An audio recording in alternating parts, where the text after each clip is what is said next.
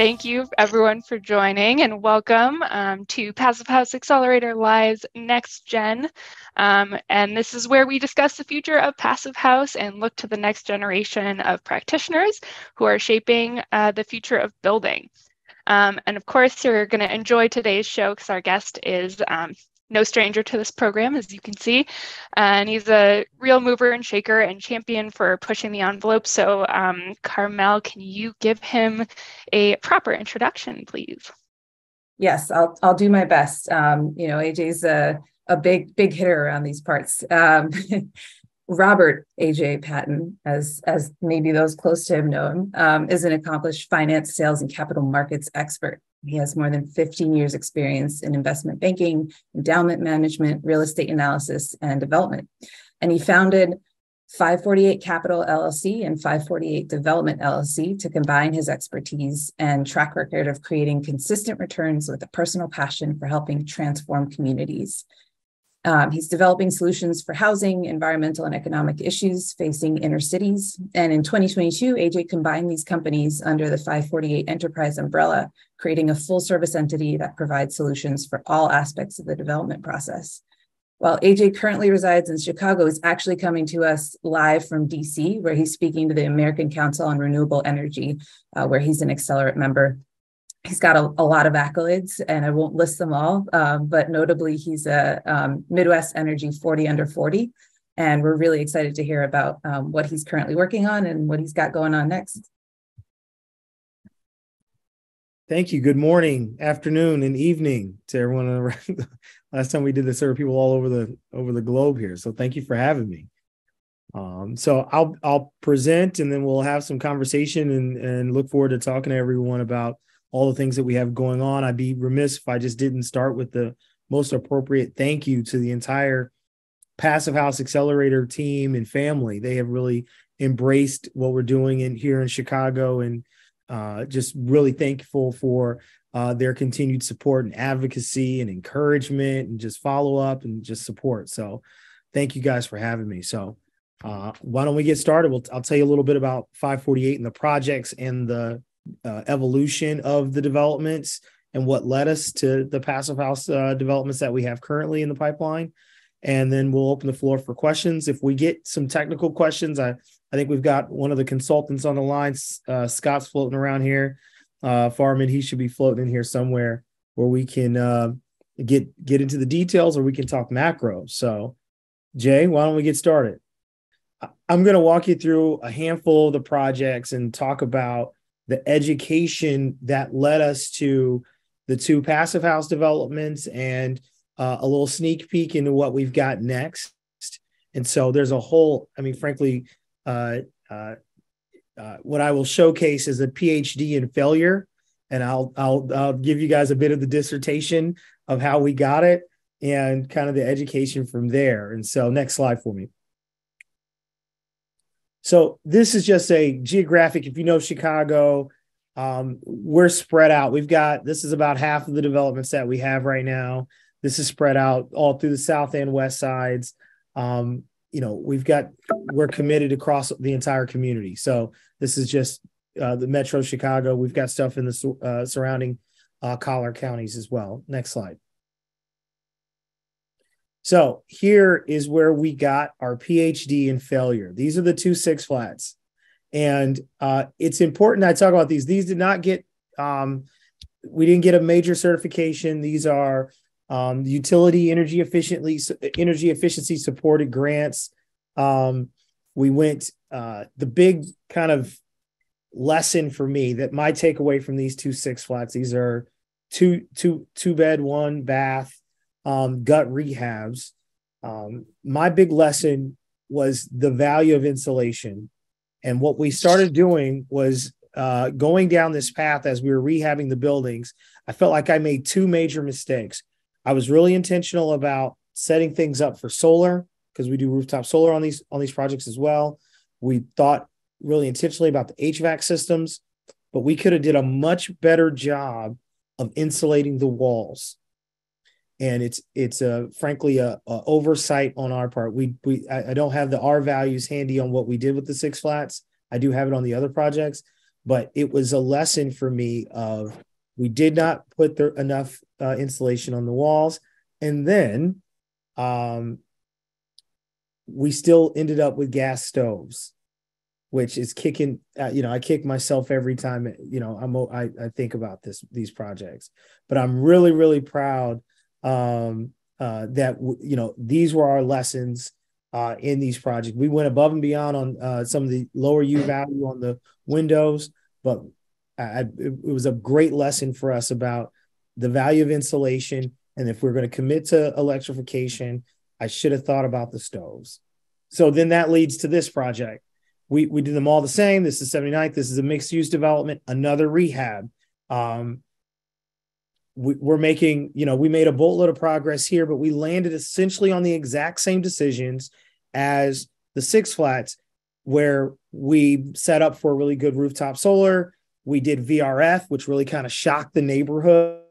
Um, and really, we only have a boiler on site for the retail. Um, and so everything else, once again, all electric except those darn refrigerator, uh, the darn stoves.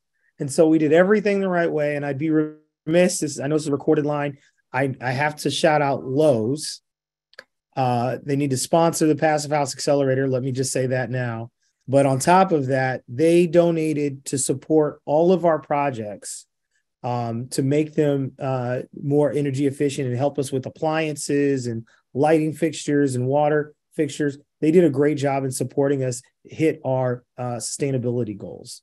So there's the progress from the six flats to here. We've got VRF here, and you're starting to see the building blocks of our development strategy. Next slide, please. What leads us here? This is South Loop Solar Lofts.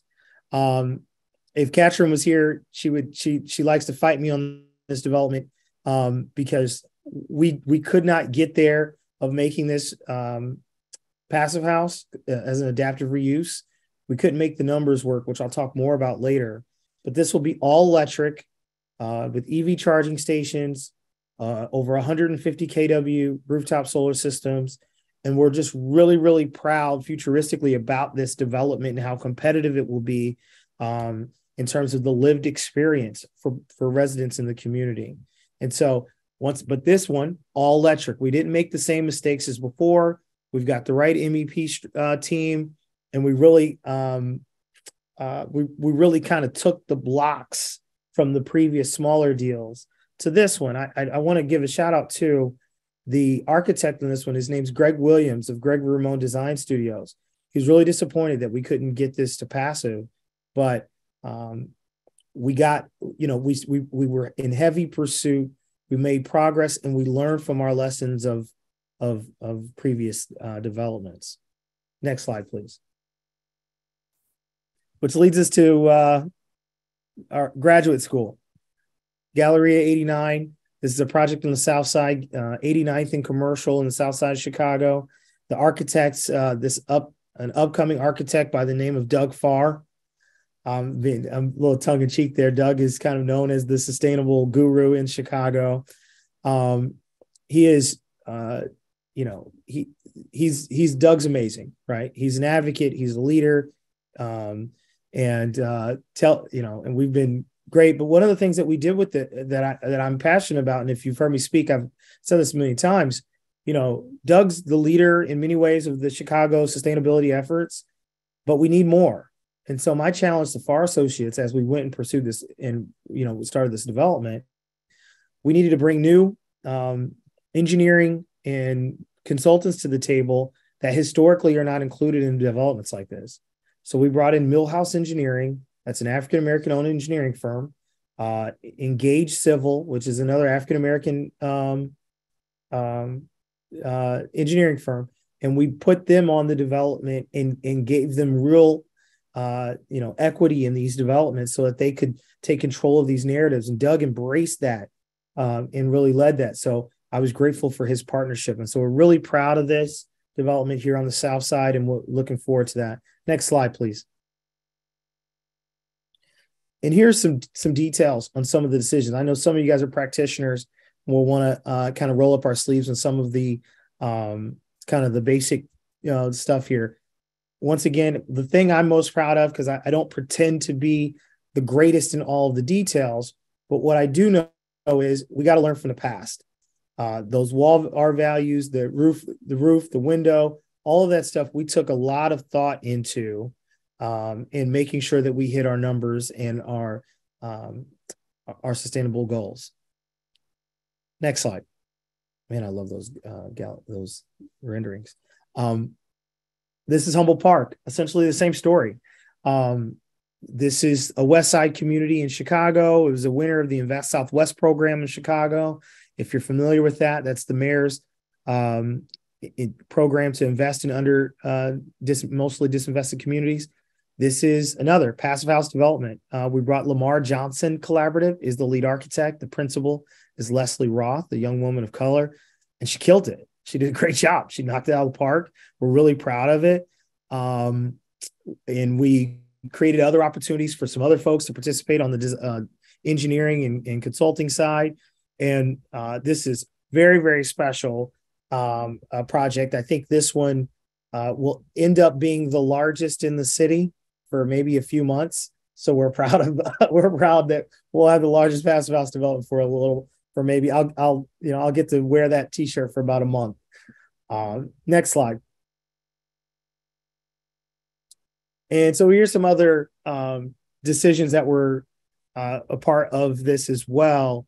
Um, they were specific to point out some of the ventilation and uh, space conditioning decisions that we made here. Uh, you know, as you guys know, each deal has its own is its own story.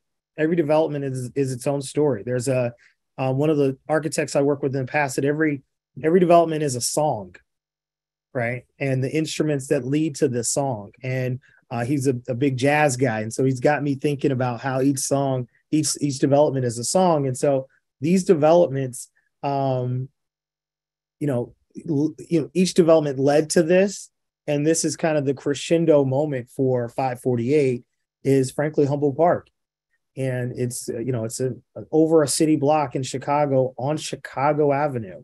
If you know Chicago at all, that is a main pipeline. So we are very, very, very proud of this. I'm uh, excited about uh, talking to you guys more about kind of our evolution and growth. I mean, there was a lot of, um, you know, we've got the Scots on the line to talk about some of our back and forth about conversations about makeup air and some of our plumbing decisions and you know all, all that comes with um, you know some of our window openings our glazing discussions.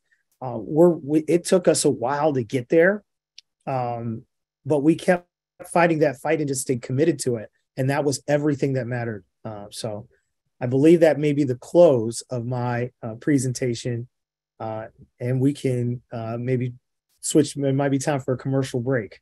Thank you so much aj and um, I'm sure we'll get more questions flooding in um, since you kind of just teased us um, with the details of your upcoming projects here. So, um, a note to anyone who you know is now prompted with many, many questions about um, all of these details. Please put them in the chat, and we will certainly uh, try our best to get to them. I think there's definitely room at this point. Um, but yeah, thank you, AJ. It's really important that you share all of this with us especially you know the failures that you've learned from so that everybody else doesn't have to um, personally learn from those failures. And then you know as a developer um, you know you have this influence that uh, not necessarily the rest of the passive house community has. So um, before we get into questions and additional comments um, we're going to take a quick break for our sponsors Hi, I'd like to give a big thank you to the fine organizations that make our work at Passive House Accelerator possible. First, a big shout out to our stakeholder partner, NYSERDA, the New York State Energy Research and Development Authority. Thank you too to our founding sponsors, 475 High Performance Building Supply, Baxt Ingui Architects, Glavel, Minotair All-in-One HVAC and Dehumidification Units, Mitsubishi Electric Trane HVAC US, Partel, Rockwool North America, Stocorp, and Zola Windows. And thank you to our champion sponsors, Icon Windows and Doors, Intelligent Membranes, Prosoco, and Source 2050. And thank you to our patron sponsors, Aero Aggregates, Brennan Brennan, Brooklyn Solar Works, Euroline Windows, Coltraco Ultrasonics Micro Air Leak Detector, Innotech Windows and Doors, Lamilux, Owens Corning, RDH Building Science, Sanderson Sustainable Design, and US Engineered Wood T Stud. Thank you, sponsors. And thank you in advance to Lowe's for their future sponsorship of PHA, putting that into, into the universe. Um, thank you, AJ. You know, learning is a success, and um, and you've just gifted that to to all of us. Um, we're gonna run a quick poll at the top of this Q and A, so you might see that pop up on your screen for a second there. Um, but we already have a um, a long queue here of of questions, and um, uh, Noah Reimers, you are up first. You had two questions, I believe, for AJ. Great. Yeah, thank you, AJ.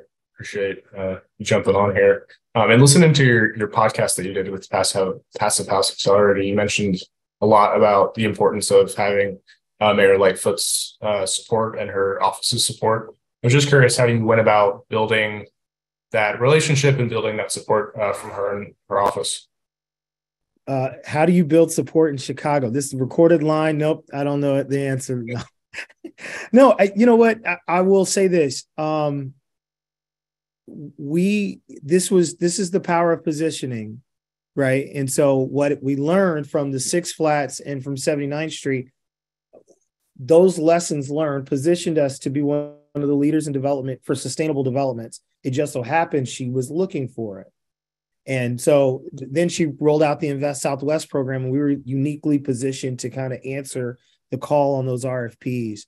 Um, frankly, I still don't know the woman. Uh, she's I sing her praises every time I get a microphone, uh, but she, you know, she's trying. She tries and tried to reimagine Chicago as a city of merit. Uh, is is kind of pushing back on some of the old political days of our city.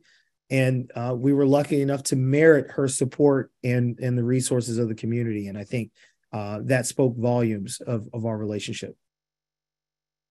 Thanks. Yeah that's really helpful. I, it's great to hear about how those you know initial projects led to those learnings and that makes a lot of sense. Um, and that actually kind of leads to my second question. I was just curious um, what are the major considerations that you look for kind of at a high level when you're evaluating existing uh, buildings and their suitability towards uh, being renovated to a passive house standard or or close to it? Yeah, great question. You know, I think there are kind of two things that were impactful for um, for the reason why we did not do it for uh, the South Loop Solar Lofts. There were structural concerns about the number of units that we were trying to meet, uh, reach uh, because there's some technicalities of some of the resources that we're using. There were some strings attached that we needed to meet X amount of units and then trying to fit that inside the current, uh, you know, building. So then we added a, a layer uh, or added an addition um, on that front. Then there's the zoning Im- implications. And then frankly, there's all the, the hovering two things for us and all, all these deals is structural with adaptive reuse. And then two uh, is cost right? Can you get there on the cost uh, with with in times of the cost? And we'll talk more about that. But frankly like there's not enough data out there for for me to say with in, with clear with a clear conscience here's what it costs to do an adaptive reuse. Here's what it costs to do a new construction. And the impact of those decisions is why particularly for the chicago market that has its own nuances. You're talking about entirely union labor. Then it's post covid so we know, you know, materials now magically cost uh, two and a half X. And so you layer in, you know, we support organized labor, but there's there's, there's a cost associated with such. And you layer that with the material increases post COVID. I I'll use Humboldt Park as an example. I back of the envelope negotiated with the GC. I said, you know, I think we'll come in at about 296 a square foot. And Noah, we came in at over 400 by the time everything was said and done with COVID. Now, if you're a negative Nancy, uh, they'll say, "Well, that's because you're doing all this great sustainability stuff." No, if I did, if I weren't doing any, any of that post COVID, that's what it costs to get things done now. And so, what what we're trying to flesh out with all these developments happening at the same time is what are the real cost premiums associated with these sustainability um, commitments, and then simultaneously, uh, what's the impact of those commitments, right? Because it, Noah, to your point, sorry, you got me going down a rabbit hole here, but to to your point, to the to your, to your question about the decision making tree, sure, if I spend an extra three hundred grand on HVAC, but if I know what my payback's going to be, or the savings generated, or, and or which we cannot uh, leave out, what's the difference in the lived experience for the people that live there. I mean, we can't take that off the table either, right? If, if we're going to light big old cigarettes inside of every uh, 800 square foot apartments, we need to take that into consideration about what the impact and the implications are to our families. So uh, those were some of the decision making. Sorry, I, I went on the rant. There's a lot more questions, but Noah, that's kind of where my head goes. Appreciate it. Thanks so much. Mm-hmm. That's the right rant to go on. Um, and, and, I know that there's a lot of questions about that and a lot of data needed um, to answer those questions still. Um, so uh, we have Patrick Carhair. I think had also two questions. You're up next. Yeah, uh, we've involved in some passive house projects out here in uh, in British Columbia, which doesn't get as hot as Chicago. Um, so, what uh, I guess my question is, what um, what have you done actively and passively uh, to try to keep these buildings from overheating? Because we suffer from that out here, uh, much less Chicago, where it gets a lot warmer than uh, Vancouver. Yeah, Scott, do you want to take that one? I, I do have Scott on standby for some of these. get, get in there, yeah. brother. Hey, everyone. Um, so to mitigate overheating during summer conditions, um, I don't know if AJ mentioned it, but the building, the the Galleria and the Humboldt Park project are both following the Phius um, certification protocol. And the way that Phius works, I'm sure you all know, but we not only have to meet uh, an annual cooling demand for the building, but we also need to meet the uh, you know warmest day of the year summer design condition, the cooling load.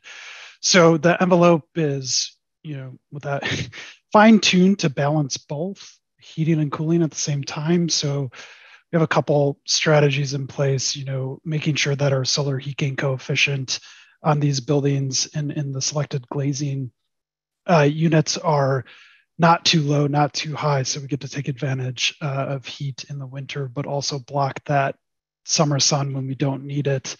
Um, in these units, you know, they're pretty dang dense and uh, it, it, passive house buildings and dense multi multi-family typology. Um, there's a lot of heat in the spaces itself, not even looking at the sun um, coming in on top of that. So, you know, this puts us towards lower solar heat gain coefficients on the glazing. Um, operable windows to help with passive cooling, but really, you know, uh, a lot of things to consider nowadays with outdoor air quality. How often do you really want to rely on on windows for your your passive measures? So we're you know leaning heavily into energy recovery ventilation ventilation and the uh, heat recovery VRF to provide space cooling to you know keep people comfortable on those extreme days. Hopefully that answered that and, question. And I know I I uh, see Sean pointed out, I brought reinforcements here for any technical questions. And then also, I just want to shout out uh, Louis here, who's also on the screen. He was the design architect for the Humboldt Park development. So I just want to acknowledge him as well. So thank you, Louis, for joining us. Next up, we have uh, Talo or Talo Arc. Sorry, I don't know how to pronounce that. Go ahead and ask your question. No, my question was that why wouldn't we go fully passive windows because when you when you have like a street front see in the retail uh, it's not i find that in the projects the uh, that extra passive going to 0.1 instead of 0.19 really makes the whole game so much easier. That's all. And the roof insulation i always go with 90 instead of 60 because it again it when you start playing the game at the end you have this you have room to make errors and adjustment and so forth. AJ, do you want me to? Yeah, go ahead. Keep shooting. I'm, I'm come behind. I, I got a question for him about the. So you're so you would prescribe, and Scott, you can still answer the question, but I guess it, it, the undertone of your question is that you would go heavier on the roof R value Right. And as a protective measure as we go out to execute. And the windows. Yeah. So um, I think maybe in the presentation, we're working with a, a, bit older information. The windows, at least on the Humboldt Park project, which is the one that I'm involved in, are the Intus Supera certified windows for the residential piece.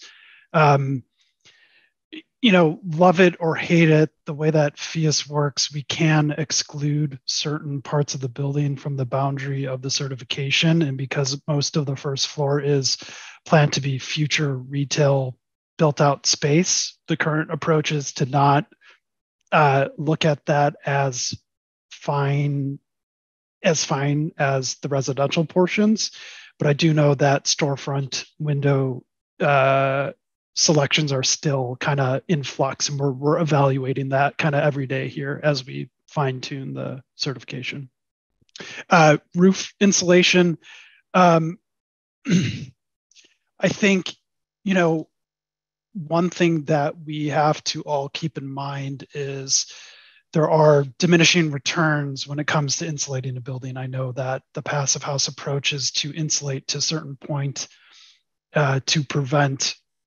heat loss and really minimize that energy use day in and day out. But, you know, from our perspective, if you're looking at the building holistically, you're not getting as much value out of taking your roof from R60 to R90 as you would be putting some of that insulation elsewhere. Um, that's my unofficial position to that question. Um, yeah, always good to hear um, kind of everyone's uh, learned wisdom on, um, you know, the right ratios uh, in different locations. So um, that's why we have these conversations. Uh, next up, I think we have Peter Molinar. Um, had a couple questions as well. I think we probably have time for asking um, one or both. Um, yeah, uh, two or three questions for you. Were there any improvements made to the venting of the coping on the parapet walls in these projects so they don't con- condense the moisture underneath the roofing? Scott, I'm going to keep leaning on you today for the technical support.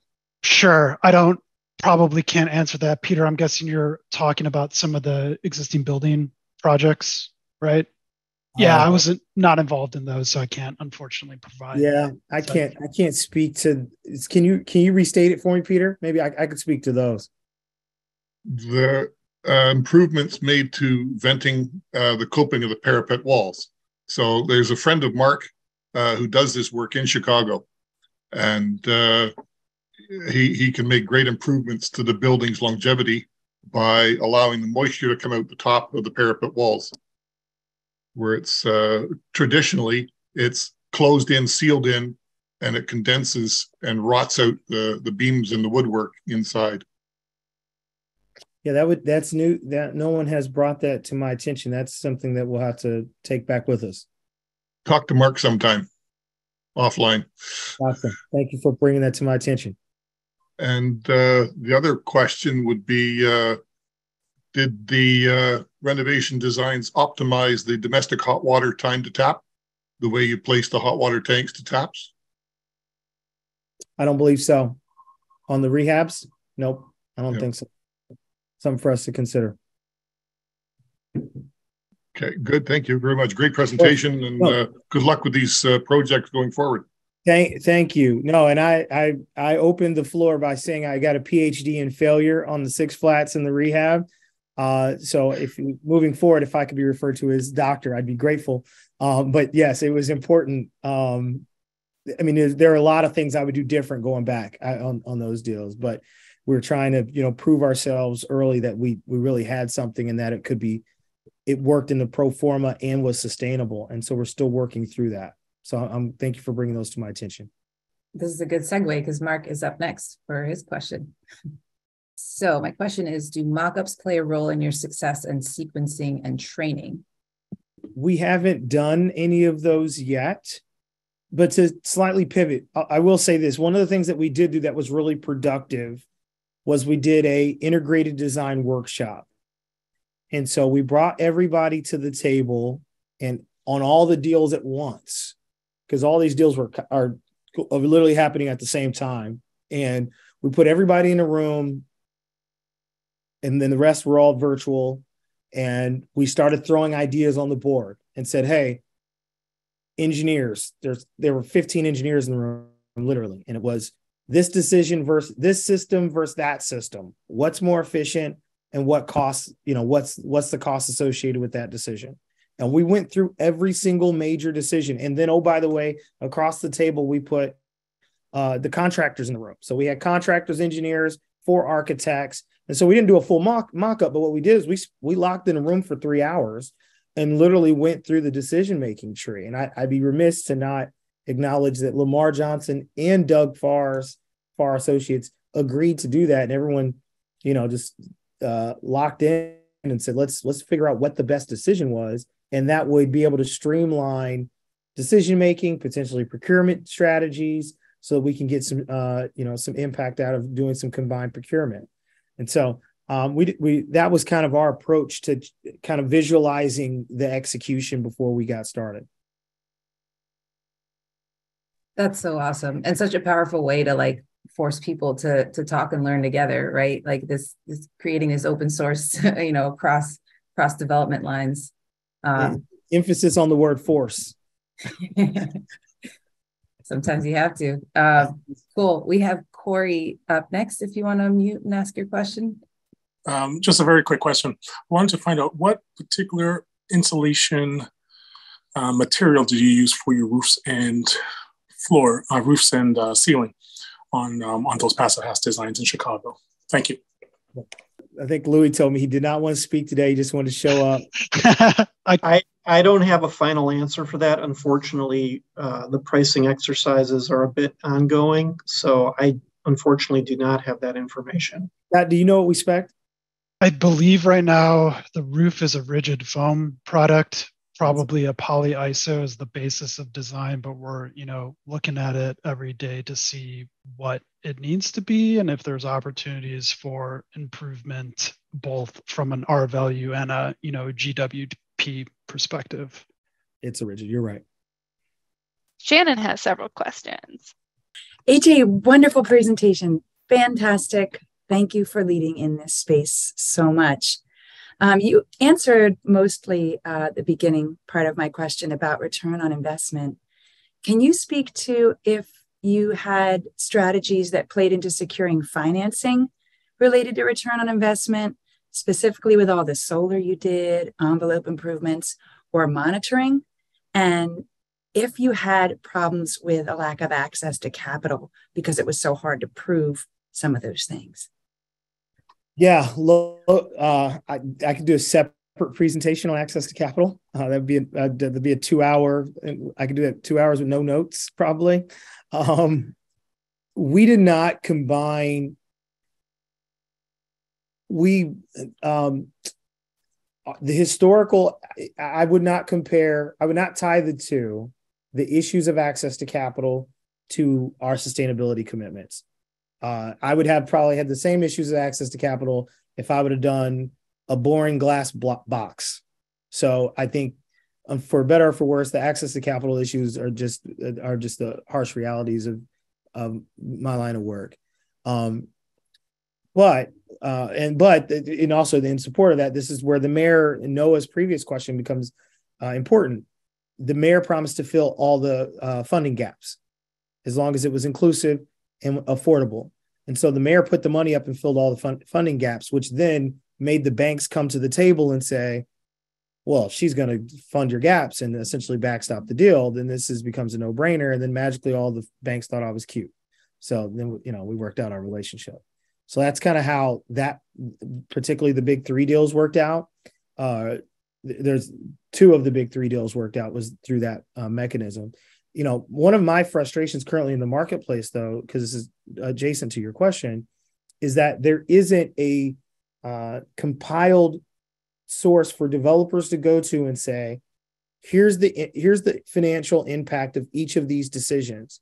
And so, uh, even if you're not ready to commit to passive house, maybe you're you're willing to you, there's some impact on a particular uh, HVAC system or to Talo's point about the impact of insulating more further insulating the roof or the walls right shannon? So to me I, I, what the thing that i'm most obsessed with in this moment and what i'm so excited about with these deals is i am going to open source all the data from the construction costs associated with the deal and everyone can have it. And we're compile all the deals together and people can just see developers specifically can see maybe i don't want to pick all this menu but i'll take two or three things and i'll do it and i'll assign it to these particular deals. And maybe they'll back into making more of the decisions that my firm has made right? And so but i think it starts with data because as a developer at the end of the day i, I you know we're signing the guarantee. This thing's got to work. If it flops then you know we're we're all in trouble right? So um but I, it, I as i started down this path i'm searching for the data and it's just not there. And it's not specific enough. There's people assigning like well if you do passive it's only 6% increase and then you start to tease that number a little more and figure out where it really is and it's really hard to find. And then people ask me other major development firms all the big guys they say, "Hey, what you're doing, it's it's cute, but is it are, is it really ready for prime time yet?" And uh, in their most condescending tone, um, and and uh, um, I can't I can't smack them with the data yet. You know, I can I can push back because I've been working out, but I can't push back with any data, right? And that's what matters most, right? So, sorry, Shan. That's that's my uh, uh my NOAA tangent of the day. Never apologize for that kind of tangent. Fantastic. I dropped a link in the chat from an article in the New York Times about three days ago that featured uh, Derek Tillman, who you may know from Bridging the Gap. Um, and it's about Black and Latino real estate developers struggling to get funding and having to prove that ROI. So, yes, I think a whole nother episode is needed and wanted there. And um, uh, also, I know Beth Eckenrode is on the call and she has some really great uh, data about cost and passive house. And I threw in one more thing from PhiusCon about noise related illnesses and heat related illnesses and the associated costs of those, which never hurts to have handy. So we're with you. And uh, anytime you want to reach out and ask for infographics for all this stuff, um, we'll all share because you're sharing it back. And it, I'm very excited about the work you're doing. Thank you so much. Okay. Thanks, Shannon. Appreciate the encouragement. Could I squeeze in an on topic question to AJ super quick? Please. AJ, how has some of the new incentive and rebate funding kind of changed the calculus on the pricing side for you? Um, did I feed you that question? No. Um, okay, that, that feels like an alley oop there. If I wasn't five eight, I'd dunk that. You know. um, uh, uh, it it will only help on a couple of levels. I think there's there's a couple ways that we can look at this. So um, one, the local utility, and, and I'm I'm in DC and I'm meeting with all these people nationally, and I always have to be rem- reminded that every municipality is different. Once you cross that state border, the realities in Chicago are not the realities in Tennessee, right? And so everybody's got their. And then I saw there's like Canadians here, heaven forbid, there's like Canadians in the room. Uh, but don't mess with you. Every municipality is different. So, like one of the things that's helped us, Scott, is as you know, the local utilities, ComEd, they've got some resources. So they put about 200 grand in for us hitting all of our two or 300 grand, actually maybe up to 400 grand uh, for hitting all the energy efficiency metrics. Simultaneously, there's been a lot of talk about 45L, which was, I believe, a part of the Inflation Reduction Act. 45L the number 45L, and it's a tax credit tied to hitting your sustainability metrics. And so I believe it's another quarter million dollars into the capital stack of free money to support uh, these these hitting certain sustainability metrics. And you start to layer those. And then Katrin and I talked, and she she's on to my strategy here, which is where the impact of solar comes in on top of that, right? So you can start to see a capital stack emerge. So then one of the things that we're doing, you know, I also own a solar company, we're putting solar on the top of these. We happen to we live in Illinois. Solar puts um, solar on top of affordable housing in the state of Illinois can be installed free of charge. So by the time you take the state incentives with the federal ITC incentives, you can get solar on top of affordable housing free of charge. So now you can size that rooftop system to match your uh, common area meter. You've essentially zeroed out your master meter, particularly for an all electric building. Now you just lowered your operating expenses. So now I've got the attention of other developers. Now they're calling me saying, well, you mean you can give me free solar and take my electric bill cut in half? That's a win for everybody, right? And so um, you're right, Scott. The, the the numbers are moving very, very quickly, um, and people are starting to pay attention. And AJ, isn't um, I mean, I could be wrong about this. I I don't know much about 45L, but isn't it kind of being um, updated right now? So there might be even more incentive or or slight differences? It, it's in real time. We we probably talk about 45L twice a week. I've got somebody on it full time just because we're already all of us here who live this are already meeting the standard to the max. So then we just need to get educated, get the right accountants in the room, and uh, make sure that we can take advantage of those resources. Great. Well, maybe we'll need an update on on all of those changes in the future um, as things we'll change need, in we'll real need time. an accountant for that, though. We'll need an accountant for that one. All right, uh, Carmel, who do we have up next?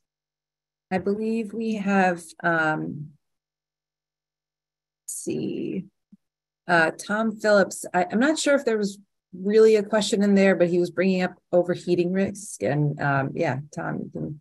Hi, yeah, I was, um, thanks for the great presentation. It's always inspiring to see what you folks are doing in the challenging times and, uh, and finding um, money in political support. I, uh, this is related to financing too, in a way, because um, I was wondering how you're addressing uh, life cycle impacts of climate change in terms of rapidly increasing cooling loads and and um, and you know where your region is going to look more like um, Arkansas and Missouri by mid to late century. So if you if you plug those numbers in, it would really change your cost calculus too. I would think over the life cycle there's a lot of us there's a lot of work we've got to do and putting our arms around each the impacts of all these decisions and what it means in the short term i'm going to pivot your question just slightly to say i've been spending a lot of time uh, thinking about life cycle and legacy uh, because i'm a new dad and it, it's something about being a parent that transitions your brain to stop thinking about the next 10 years or you know, I got a few gray hairs that the barber has to cut now to what's the planet going to look like, a, a, you know, 80 years from now when I have grandkids and so forth running the planet. And so many of those things are coming top of mind, uh, Tom. And I think that it's, you know, it's not lost on me. I'll, I'll, say that it's not lost on me. Well, I, I guess just to follow up, um, I'm, I'm curious to see what you see as your next big challenge or uh, tweak to your uh, your program? Well, Zoe, uh, come. Uh, maybe we'll wait on that. I, am going to Tom. I think you're. I'm going to. Maybe this it. is a natural time to ask that question. Uh, we, um, we, can talk about it if you like, Tom. You maybe maybe you just pulled a Scott and you just threw me an alley oop there again. This is uh the setup. Yeah, Tom, we we had scheduled this big bomb to drop in like five minutes, but maybe now is the right time. AJ, if you want to share what yeah, the future. If, we, if we've answered everyone's questions, I'm fine with uh, sharing what we're working on next. Yeah, I think we're we're actually in a great spot, and there might be more questions coming out of this bombshell. So um, why don't we, AJ? You know, this is our this is our ongoing question. What is the future of Passive House? So uh, I am here to share and announce that um, my foundation is launching and uh, going to build the 548 Energy Institute right here in Chicago. And uh, we're building a new 70,000 square foot net zero facility uh, on the west side of Chicago. Uh, that project has already begun uh, in the initial design phase. Uh, it will house uh, a workforce training center. uh, business incubation center. There will also be policy and advocacy work, building education and build uh, and people that want to transition into the clean economy. This will be the hub for all of these things. Um, we've secured the land in the support of the city. We've got uh, we're going to announce some support from the governor here in a couple of months, and uh, a major corporate donor that would like to back it as well. And so we're finishing up. That's that's part of the reason why I'm here in DC this week is to lock up the last of the uh, resources that we need uh, to uh, finish out this project. So what's what's next for us, Tom, is to uh, we need a place. There needs to be a facility uh, that the country can go to and, and and beyond can come to and get the resources and education that's needed in order to take the next step of bringing more people into this tent. Um, and so uh, that's what I'm I'm passionate about and trying to build the next generation of developers, contractors, and service providers that want to build clean communities. So that's what's next. Yeah. Any other questions that you want to um, ask yourself that we should just put put into the queue that would be nice to answer? No, I'm excited, and I and I started at the top just to say uh, this is a great group, and I am very uh, uh, grateful that you guys have welcomed 548 and some of the Chicago uh, coalition uh, to just come and just participate and support and engage and so forth. You guys send data and, and notes of, of, encouragement, and so I'm grateful um, and uh, looking forward to spending more time and advocating alongside of you. This is a great time to um, let's like all unmute and just say congratulations and give AJ a round of applause. Um, yeah. Ooh, thank you. Thank you. Applause. This is, I mean, it's exciting to our community and and to um and to literally the future of um of the workforce and of the the brain power behind trying to solve all these difficult difficult issues that that are facing us. Really exciting stuff. Um, I I have uh, a question myself, if if it's okay to ask, and then um, we'll probably leave a few minutes at the end for for breakouts. So people can connect um, in smaller groups. Does that sound good? Shoot. So, with all of these lessons that you've learned, um, and with the the ability that you've brought, you know, people to the table together, um, what do you look for now um, in terms of screening, you know, contractors and and people that you bring onto these deals? Um, like, what are what are the biggest gaps that you've seen and things that you kind of scrutinize um, moving forward? Yeah, I'll, I'll give you an anecdote. Um, I heard a sports radio analysis. Uh, a sports radio guy said this about um, about a year a, a while back when Indianapolis won the Super Bowl got to not won the Super Bowl, got to host the right to host the Super Bowl. And he said, uh, follow me here for a second. He he he said, I'm going to open up the lines, and I want everyone from Indianapolis to call me and tell me the best restaurant in Indianapolis. And everyone called and said St. Elmo's.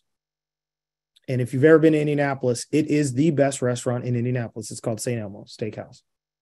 And he said, I'm going to do the same thing. Everyone from New York, I want you to call me right now and tell me the best restaurant in New York. And as you guessed, they all said 5,000 different restaurants.